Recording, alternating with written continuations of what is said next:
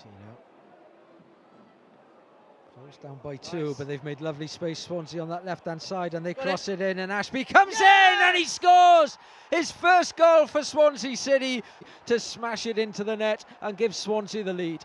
A lovely ball here from Josh Key, a little reverse pass, and Patino, he gets his head up and he, he picks Ashby out. And I have to say, this is a fantastic finish because it's a half volley, but it, it's hard to keep down. You see so many players who would put that over the bar or, or mistime it and to get the power on was, was fantastic. It was, it was a really, really good finish and it was a great move.